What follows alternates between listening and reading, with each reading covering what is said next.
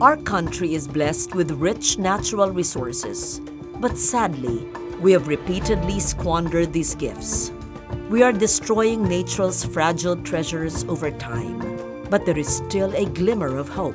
In this series, we take a look at various protected areas throughout the archipelago to learn the stories of the land, how it was once neglected and abused, and how it is slowly being renewed. This is Loren Legarda, and I present Our Fragile Earth Protected Areas of the Philippines.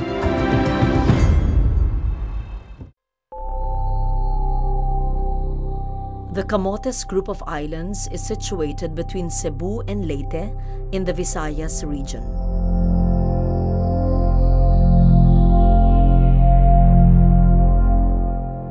Its pristine coastlines and bountiful natural wonders have for a long time attracted visitors, including a growing community of expatriates in recent years.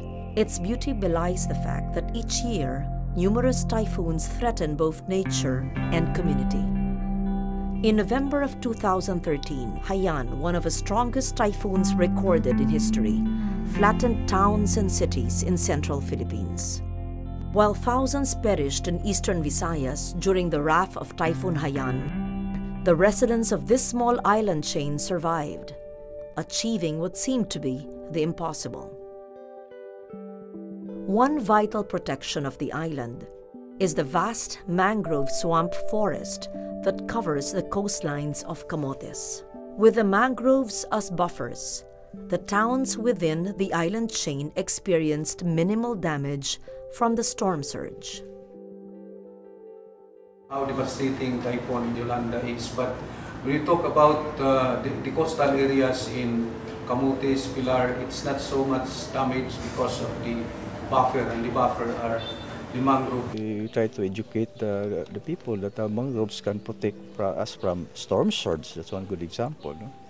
And of course, it's also a breeding ground of our marine resources.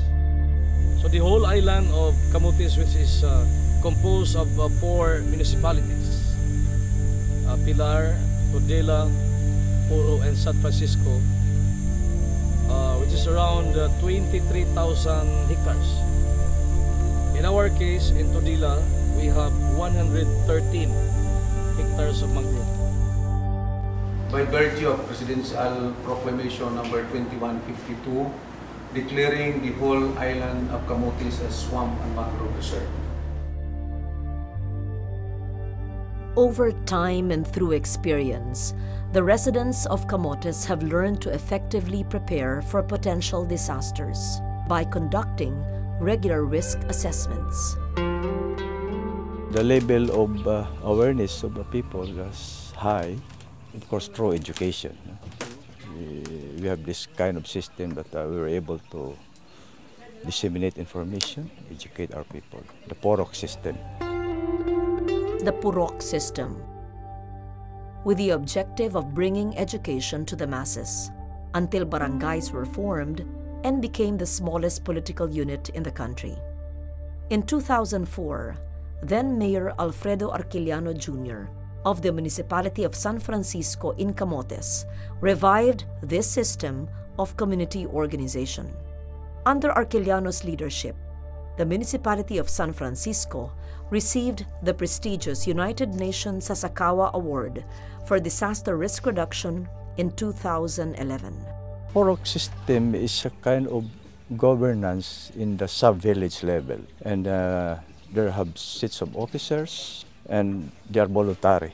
And uh, because of this, you have these regular meetings, so we have now the avenue to educate our people and disseminate information. When the island's tree-lined avenues were filled with garbage, Arquillano encouraged one Purok to solve its own solid waste problem. Malaking naitulong to sa mga tao dito kasi nabawasan yung mga sakit galing sa basura. Kasi kapag hindi tayo mag-manage ng basura, maraming mga health hazard, lalong-lalo na sa mga kabataan natin. Inspired by this transformation, other Puroks followed. From the success of their ecological solid waste management system, the Puroks worked together on other projects. Ito itong uh, nursery namin sa 2 million trees at saka mayroon kaming uh, iba-ibang klase ng kahoy dito.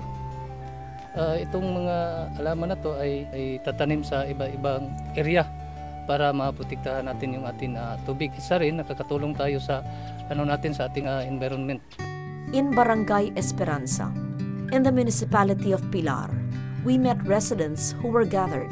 They were listening to their leader as he discussed policies on improving the quality of living in their community. Evidently, they are engaged in ensuring that policies are effectively carried out. Pagkumpara sa mga kabalayan nga naa sa tubangan sa mga mangrove areas o sa mga kabalayan nga wala gyud mangrove. They are beginning to be self-reliant and of course they need also the support of the government to give them uh, support in the livelihood programs like for example in agriculture, in the tourism sector. So in every tourism activities, we try to see to it that uh, the community can benefit.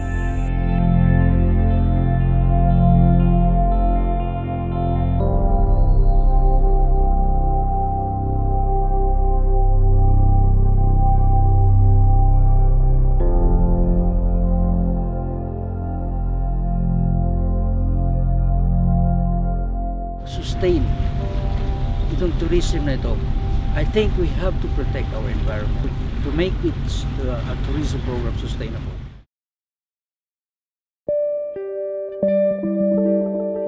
We need to be vigilant in protecting our fragile environment, as nature can also shield us from natural hazards. With preparedness, knowledge, and strong political will, future communities would still be blessed with a healthy environment. It's good that uh, may naumpisahan lang tayo, continue enhancing it to achieve sustainable kind of development. Our island is our home.